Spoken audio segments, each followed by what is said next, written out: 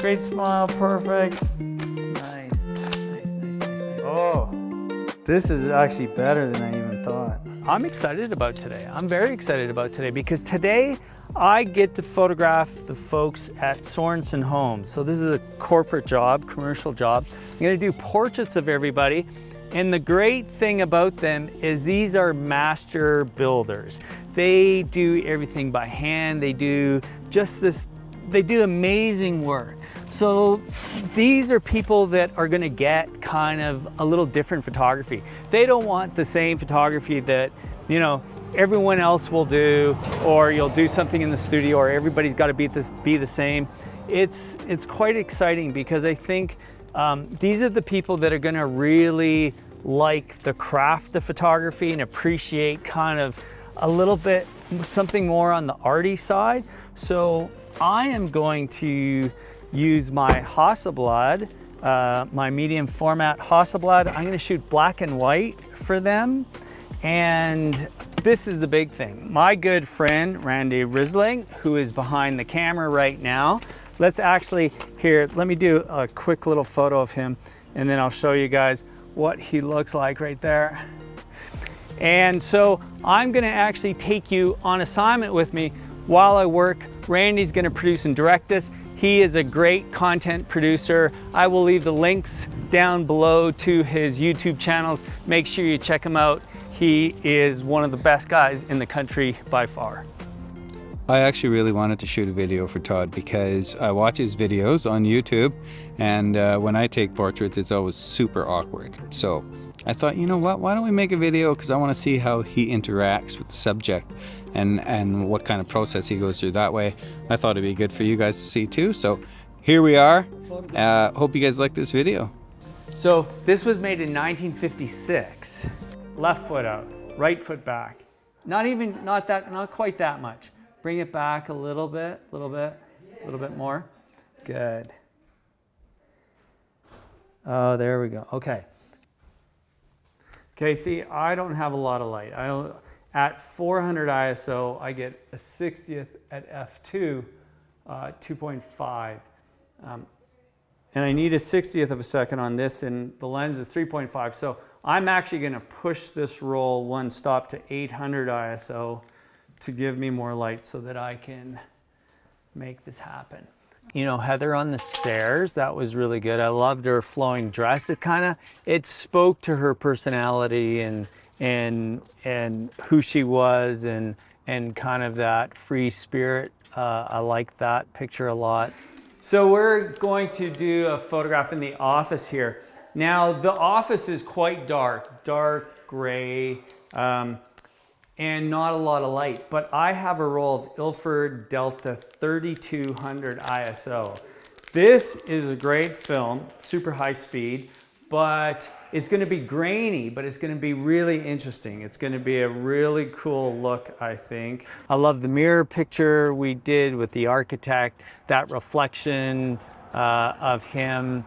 Um, I love Brent outside the house just now. Um, the social media gal in amongst all the boxes was kind of cool.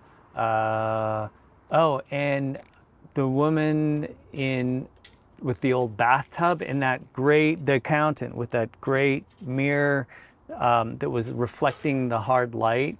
There, oh, I like that a lot. Just chin down, tiny bit. Chin down. Just a, a tiny bit. Well, just like that. Yes. There we go. Perfect. Hold that. Nice. Oh, that that looks fantastic.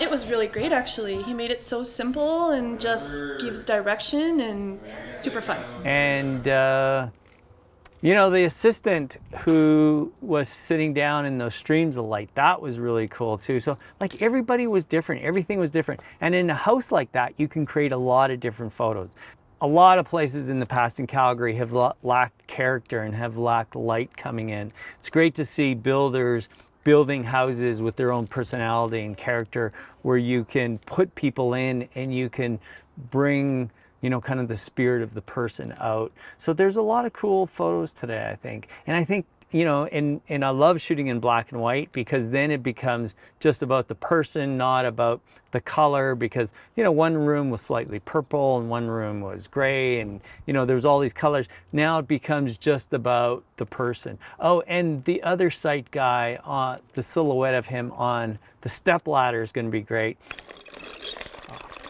That was great.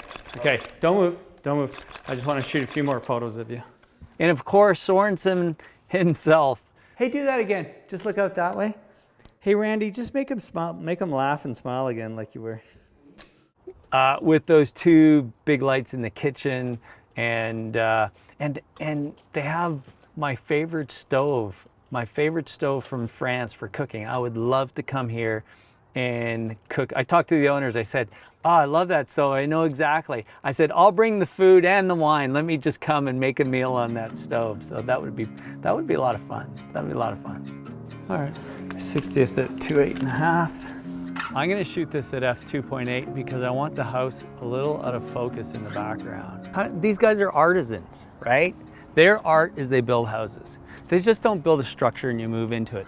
They build an artful house and they appreciate art and they appreciate artists, painters, photographers, musicians. So to work for people that that appreciate those things and for me to contribute to how they work, their artisan way of life, their approach, it's really exciting. It's it's it's such a breath of fresh air. Might be trying to like toot our own horn here, but it is like it's an element of intention. It is an element of intentionally bringing out specific details so that the fine details are not lost yeah, yeah. in what we're creating. And that's exactly what my I, I hope my photography is about. That's exactly cool. the same thing. It will be. Yeah. It will be. This is what YouTube has given me.